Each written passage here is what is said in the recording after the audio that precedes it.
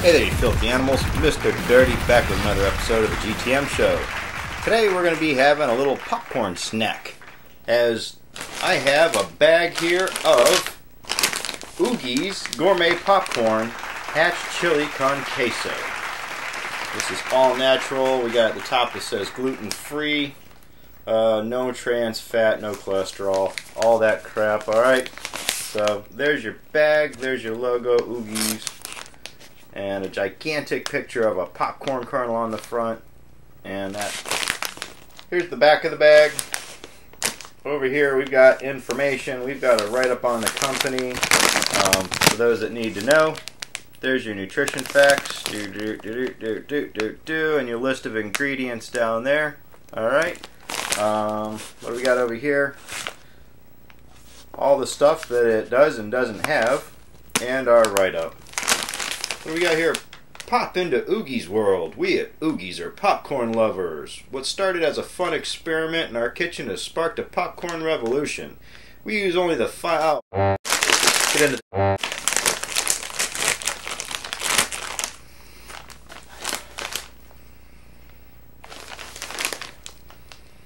As soon as I open up the bag, um, I didn't get blasted in the face with any kind of aroma.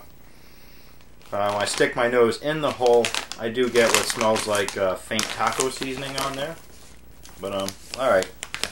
So there's your uh, first look inside the bag. There's all your popcorn rolling around. Alright, I'm sure there's tons of unpopped kernels down at the bottom, but we'll never find out. Alright, let's put some in our bowl. Alright, I can smell them better now that they're outside the bag. So there's your popcorn kernels. That's what you get inside the bag. There they are. You can see the seasoning on them. Um, and I can already off the bat see that like over here we're seeing like uh, some that are not all the way popped. Know, you can see the plasticky kernel stuff still inside that's going to get stuck in your teeth. Let's give it a go.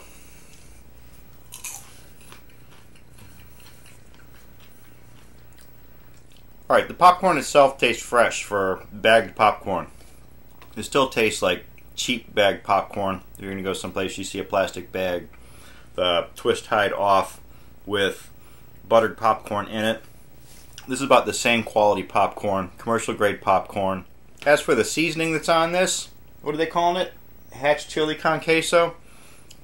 And uh, I'm not sure what the hatch chili is. Um, this is coming across tasting more like, you know, uh, taco seasoning. Which I guess you could use chili powder to make tacos. Um, uses a lot of the same seasoning. Um, you do get that cheese flavor off of these. It is uh, exactly what it says, con queso. It's a white cheddar that um, I'm getting off of this. But yeah, the chili seasoning or the taco seasoning or whatever it is that's on here, um, it's coming across tasting kind of cheap. It's not exactly like a a Lawry's or a Taco Bell or say even the old El Paso.